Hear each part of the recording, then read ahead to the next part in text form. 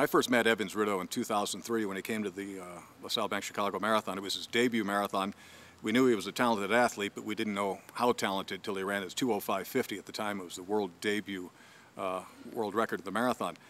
And then in 2004, of course, he went on to win the London Marathon and then came back to Chicago with those two majors in his belt. And the only thing he did wrong, he won the race, he ran beautifully, but he was uh, in such great shape that he thought he could talk the rabbits out of running the pace that the race organizers wanted them to run.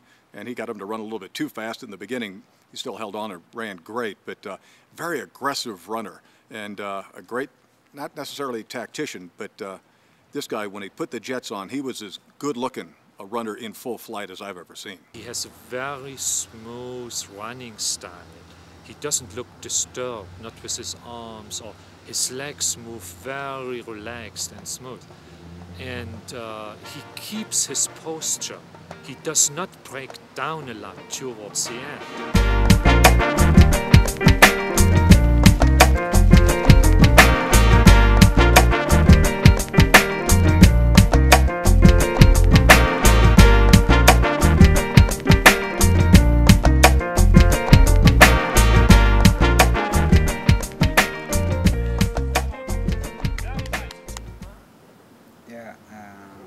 Became a because I had my father before I ran.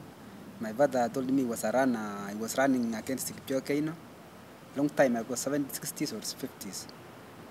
And then he told me he was, was they were, by that time they were giving out some, some cows, goats and sheep. Yeah. So, so it came to my mind that my father was a runner. And then after that, I went to school and then this uh, local competition in schools and I was running very good and I was doing good and then after that the, it came some guys like Mos Kiptanui, Maria Chelimo and um, Ismail Kirui.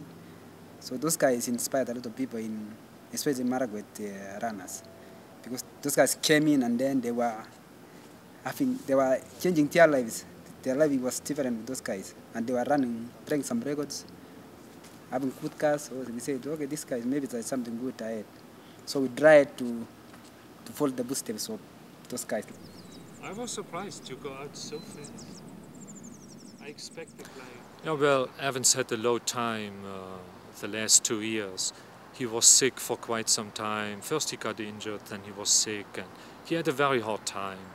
Took a few things, not really uh, mm, very serious anymore, and uh, always tried, but then lost it again, and this time, I must say, is the first time he, uh, for quite a few months, continuously trained and focused better than, uh, again, in the last three years.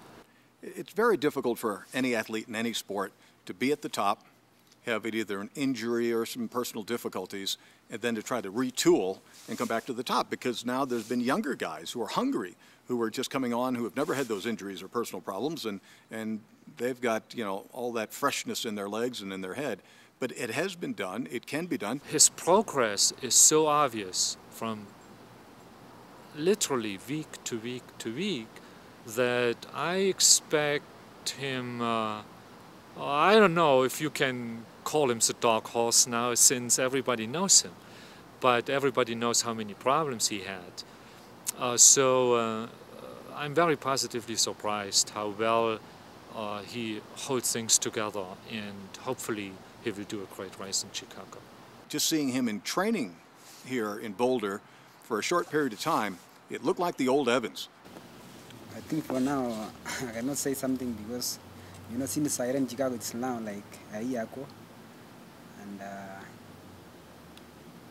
you know, there is much difference between now and that time. But for now, about according to the training, the training is going on very well for me right now. And now I'm now picking up very good. And uh, I've seen the line lineup of Chicago. Those guys have run some good races and they have run, run good times. So I think that Chicago race will be very tough race. So for what I'm preparing for now, I know that, that the race will be very tough.